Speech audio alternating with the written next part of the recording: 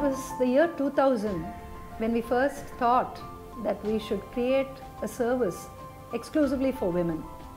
And the inspiration from that was deeply personal. It was my own story, it was my own experience of being an Indian woman professional in the Indian workplace that led me to think that women's careers needed a specific special incentive.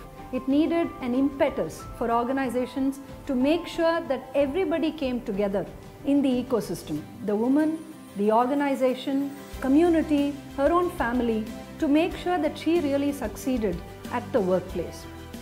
But it took us almost five years till 2005 before we could say that we had been successful to some extent in this vision.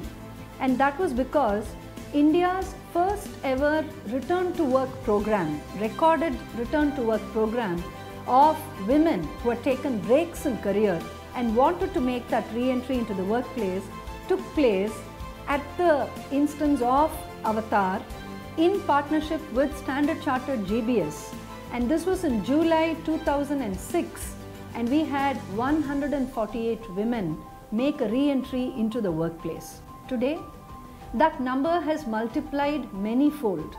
Now we can proudly say that Avtar has actually influenced the return to work and the continued career of more than 35 to 40,000 women professionals in India. But what have we actually learned along this journey?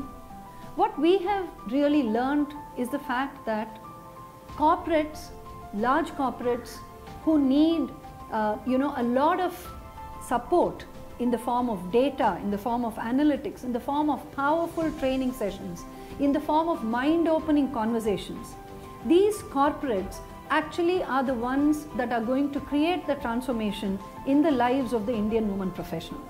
So they need innovative solutions, they need talent solutions which ensure that the power of diversity, gender diversity and other forms of diversity and inclusion to be totally leveraged in their workplaces. Now having done this and having seen uh, you know organizations and corporates really grow up the ladder when it came to creating diverse and inclusive workplaces, today what stands in front of us is the potential to ensure that we go back to that vision which we originally had that of creating many, many more thousands upon thousands of career opportunities for the Indian woman professional to make sure that it is not a win-lose situation for her when it comes to her own career and her personal life.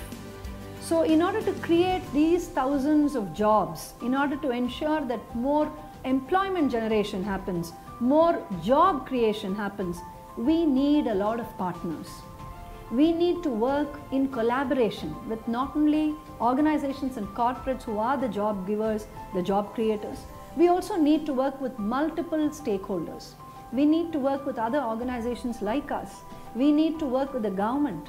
We need to work with multiple levels of think tanks who are all creating policies and we need to be able to influence those policies to ensure that the Indian woman professional leads not only a successful career but a very sustainable career too.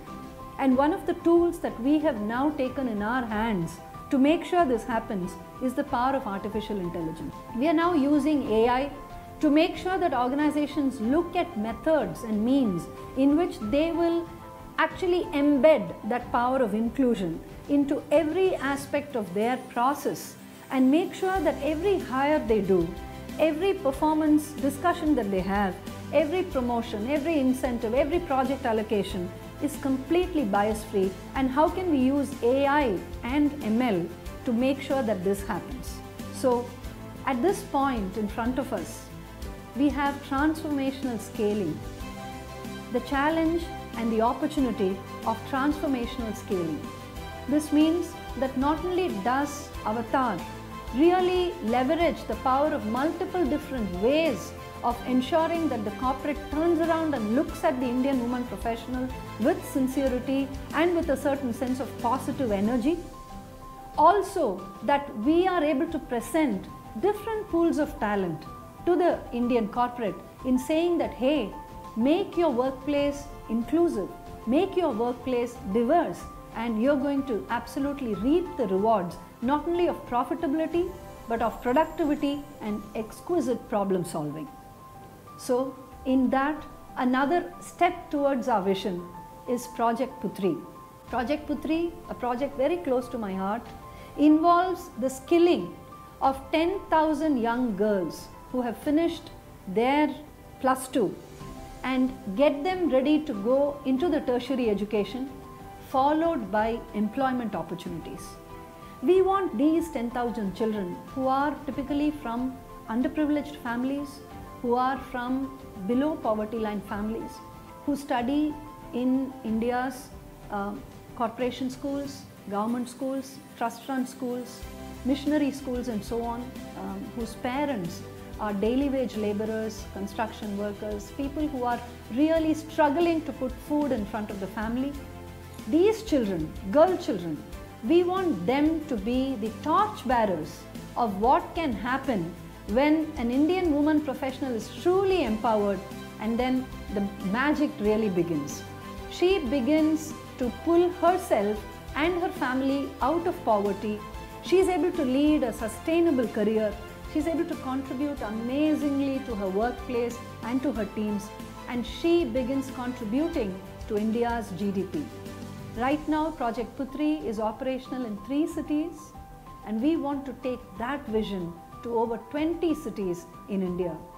So, with this, you know, this combination of three aspects of the work that we do the work that involves recruitment and hiring of women professionals, ensuring that they are provided with all types of tools, techniques, the creation of an empowering corporate, the creation of a very discerning and an enlightened workplace that combined with the power of artificial intelligence and of course looking at women who truly deserve this transformation, women belonging to the underprivileged classes of society, bringing all this together is the vision of Avtar.